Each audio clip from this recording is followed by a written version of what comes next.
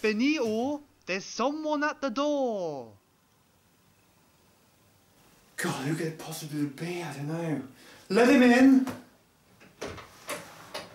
Hello. Excuse me, sir. There's a, been Yeah. a safety issue here. We've got to do a little Issue? check, a little essential maintenance to make sure everything's working. Is that alright with you? What's working? Everything's working There's something in the electrics, okay? Something in the electrics. Yes, Yeah, I'm very electrics are sorry, sir. It working is fine. essential. Your electrics, if you're not careful.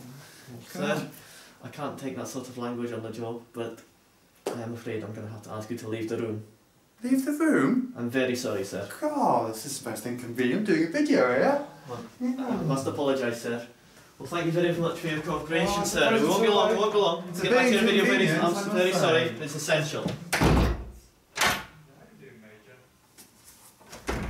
Finally! My chance is here. He's gone. It's my time to shine. He's locked me in. Hi everyone, welcome back to Sam's Explanations. I'm finally here in place of Benito because I'm so much better at teaching you about what you things. I suppose we've got a north and a south pole, so we must have two poles, so dipole. This makes sense. I I can do can I can I do this? I thought I could do Benito knows how to explain. I can't do this. Oh well. Do this then. right. I'm not good enough. Ah, right now, what am I? You're right. I can't do this, Benito. What do you mean you can't do this? I'm not good. I I can't explain what you explain. I can't explain like you explain. That's why it's. Benito's explanations. I finally realised. Flattery will get you nowhere, Sam. But You're not that bad. I'm simply not good enough. Oh, I thought I was a star. I thought I was going to be famous. It's good that we've been through this, just so you could realise that.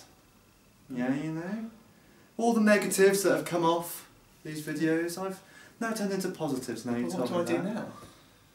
Um, What's left for me? I don't know, be a banker or something. Get out of my room, you fool! Blow your neck! God! Right, hello everyone! Right, okay, it's the sixth video in the sensory ecology series, and today we're going to look at another sense, and it's another one of those weird senses as well. It's one that we can't do, and it's kind of weird in general, really, because despite us knowing about it for quite a long time, since about the 1800s, um, it's still a bit of a mystery on how animals do it, right? I'm talking about magnetoreception, the ability to detect the Earth's magnetic field. Okay? And now this is normally associated with behaviours that involve long distance migrations, okay? For some animals, um, the size of their habitat compared to the size of their body, for example, is absolutely massive. Um, so it's, yes, relates to long scale navigation. An example being um, the black-browed albatross. Yes, the black-browed albatross mates, mates for life, I think, lays a nest on Heard Island, yeah? And then once all the mating, all the parental care's done, they fly off out to sea, many, many kilometres away. And then each year, they manage to find their way back to the same island. And actually, more or less the same spot from where they laid their eggs the year previously. That's pretty amazing. Now, how can they be doing that? Well, the magnetic field is the answer. Now, the magnetic field well, I'll tell you what, I can't draw. Let's show you a diagram of the Earth. And this is to show you on how the Earth acts as what we call a magnetic dipole. We all know it has a north and a south pole, and that's all due to its magnetic inner core. So as you can see in the diagram, we've got field lines going from pole to pole. That's what connects the two poles. So if you do a geological survey, you realise that the magnetic field isn't homogeneous, it's heterogeneous, it's different where you go from place to place. So that gives us, or gives the animals, something to measure. So then maybe animals are able to orient themselves in an otherwise featureless environment using this. Another important point to mention about the magnetic field is because of the magnetic field that we're alive at all. Okay? The sun bombards us with all sorts of dangerous particles. Yeah, it's bombarding Earth all the time, but it's the magnetic field that deflects them. Okay? If those particles were able to reach Earth, um, well, life probably would cease to exist. So it's thanks to the magnetic field that we've got that. Okay, some more examples of pretty animals then. Well, in the UK, we have loads of migratory birds, um, a lot of wading birds, such as knots and sandpipers, which come here to overwinter or come here over the summer. Okay, and if you study them, obviously nowadays with technology being so fast, you can fit these birds with little GPS tags and you can see where they're going, right? And you, it's found that they follow very specific, very population specific migration corridors, we call them. Okay, so they're following specific routes all the time. So how the hell are they doing that? Well, they could be using the Earth's magnetic field. I mean, they could be using landmarks and things like that as well, but in the sea, everything kind of looks the same, doesn't it? okay, so there aren't many landmarks around. Another lovely example that we all love is the loggerhead turtle. We all love the loggerhead turtles, and most sea turtles actually are thought to be able to detect magnetic fields. Just as a side point, by the way, last summer I was actually privileged enough to release some turtles, um, some baby turtles, as part of a conservation project, um, back out into the Pacific. So let's just see some pictures of um, me releasing turtles for a second.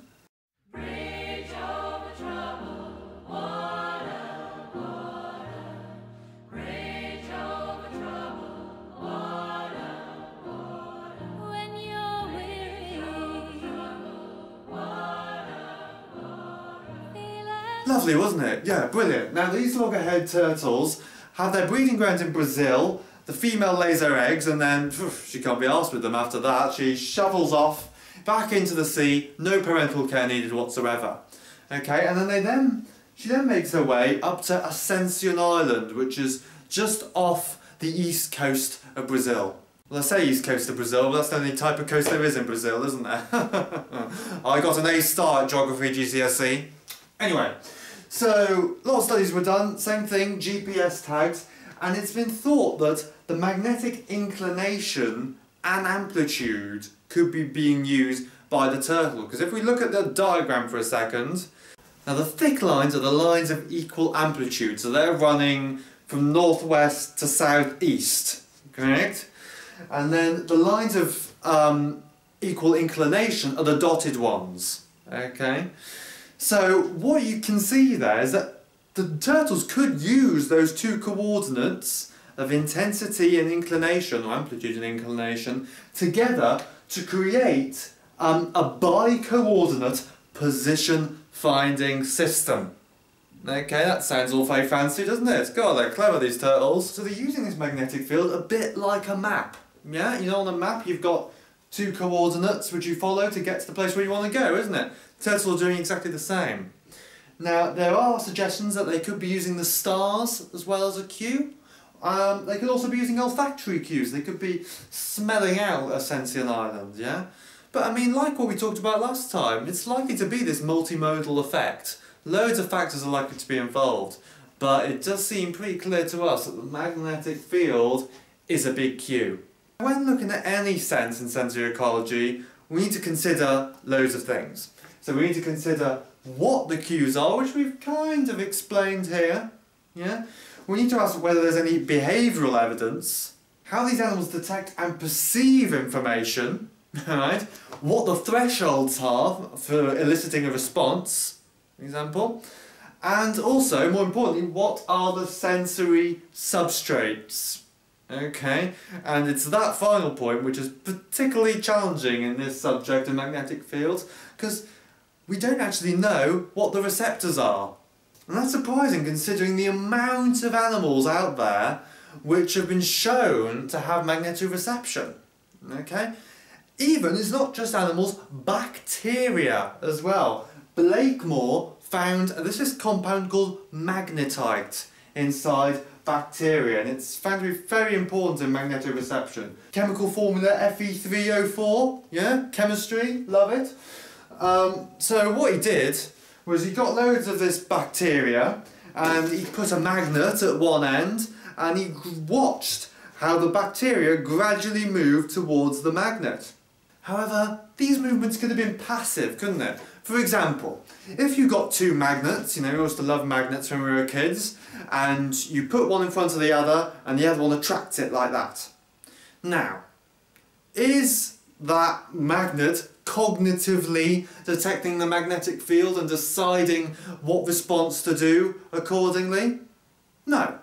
It's just attracted, okay? The magnet isn't alive, it's not perceiving the magnetic field, we're just watching the laws of physics in action, aren't we? Okay? So we need to describe this boundary. Are the bacteria actually detecting the magnetic field and responding accordingly, or do they just so happen to have magnetite in them um, magnetite's magnetic, so they're being attracted.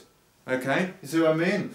So, an organism must detect changes in the magnetic field and convey this to a motor system. Yeah, the nervous system needs to be alerted. Central nervous system needs to work what the hell's going on and send impulses to motor neurons and then to effectors so they can respond accordingly. And this magnetite is embedded in a three-layered membrane in these bacteria. So it's a bit unsure what the function is at the moment. There's also been talk, especially very recently, on cryptochromes. Now cryptochromes are photoreceptors, um, not just in animals, but in plants as well. And it's been thought that they can detect the electric, um, the magnetic field, sorry, somehow. Okay, so a bit of physics then. Firstly, the magnetic North Pole isn't the same as the geographic North Pole. Actually, they're quite separated. Okay, and we call the angle between them the declination angle. Okay, um, I've written another angle on here, the inclination angle. That's the angle between the measured location, yeah, where you are at the moment, with the horizontal component of the magnetic field. Okay, that's called the inclination angle. So basically when we do these behavioural experiments on animals, we're trying to test whether they can sort of perceive and act accordingly to differences in declination and inclination angle of the magnetic field. Incidentally, when I equals zero, well that means we must exactly be on the horizontal axis of the magnetic field. And that's what we call the magnetic equator, which is also different to the geographical equator, okay? Basically, geography has got it all wrong. Um, now, another interesting point to say is that there's instability in the magnetic North Pole. The magnetic North Pole changes the exact position of it. It's, so it changes, that creates instability. Incidentally, actually, the magnetic field of the Earth has switched several times over um, geological time, but that's another story. We won't go into that. So we've talked about before in the bicoordinate system of the loggerhead turtle, there's two different types of field lines. There's lines of iso intensity, iso means the same, so intensity, and also iso inclination. Now the distance between two, well the change in intensity between two field lines of iso intensity is about 1000 nanoteslas. Yeah, the Tesla is the unit um, for um, uh, measuring the Earth's magnetic field, okay, or magnetic fields in general, it's Tesla. Um, and the angle, the difference in the angle between um, the lines of iso inclination is about 2 degrees. That's just some stats for you. Okay, so some proper scientific experiments then. Now, Obviously, we can't change, we can't manipulate the magnetic field of the Earth. Okay? But what we can do is introduce another magnetic field which cancels out that of the Earth's. Okay? Well, means that the magnetic field of the Earth is no longer felt because of this new one. Okay? And this was done in these turtles in Florida. Okay? Which normally travel east. Okay? This was studied by Ackerson et al.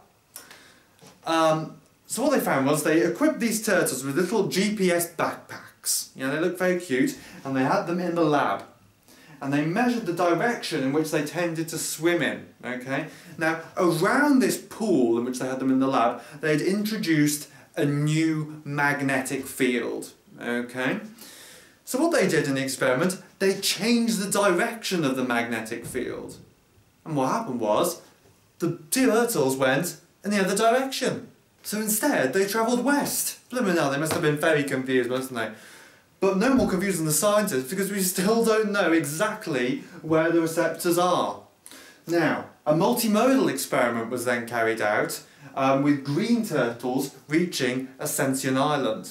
Okay, and although this didn't prove exact evidence of magnetoreception, it showed the turtles always seemed to know where they were going. They were going in a straight line all the time, so there was no wandering about. You know, there was no, oh God, let me just check my GPS or something. They had it very clear on where they were going. Okay. Now, what's interesting is that sometimes they just missed Ascension Island. Okay. And then what we think is they sort of homed in on it using olfactory cues. Okay. So this just shows this multimodal effect. It's these different cues acting additively which increase um, the efficiency of navigation of these turtles. Okay, now for some more experiments in birds. Iowele, I don't know how you pronounce that. Iowele, I. Right, they did work on homing pigeons. Now, it's been thought for a long time that pigeons can detect magnetic fields for orientation, especially homing pigeons, because they need to find out where they're going, obviously. So, this experiment was done. So pigeons were taken, frosted glasses were put, in, put over their eyes so they couldn't see anything, and magnets were put around their heads. Okay, so that cancels out the effect of the Earth's magnetic field. Okay, that sounds a bit weird, doesn't it? Um, and then a relocation experiment was taken place because the birds were taken somewhere else, somewhere new, after being anaesthetised, okay? They were given general anaesthetics to, you know, tranquilise them, whatever. And when they, you know, became active again, they measured, well, the scientists measured, what direction they flew off in. And this seemed to give pretty good results about the pigeons being able to use magnetic fields.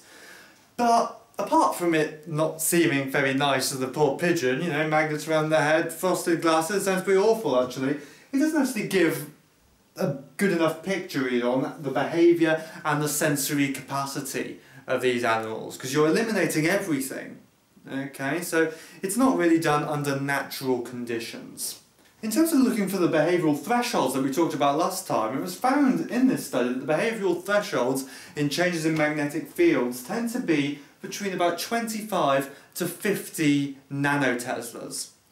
Now, if you compare that to the difference um, between lines of iso intensity that we talked about, which was 1000 nanoteslas, well then that's much smaller. This just shows that the ambient field is much larger than any local variations that these pigeons are able to detect. Um, and this was looked at further, and it was found actually that the pigeons seemed to align themselves in a position which was um, where the gradient between the field lines was greatest. To show you that, imagine I have two field lines here and here. The birds would align themselves so they were in this direction, okay? Pointing that way or that way, okay? That's where the greatest gradient is. Oh, once they've done that, they can slightly change their place so they can decide where they actually want to go, okay? Now, an even more perfect study was done on a completely different animal. It was done in lobsters, okay, by Lohmann et al. in 1995. And these are migratory lobsters. They took lobsters that were about to undergo a migration. Okay, they reared them in the lab, created an artificial magnetic field using what's called a Helmholtz coil. Okay, that's probably what was used in the turtle experiment as well. And what they did was they either changed the horizontal direction of the magnetic field or the vertical direction. Right? Now, if you change the vertical direction, no change is seen. Nothing happens at all.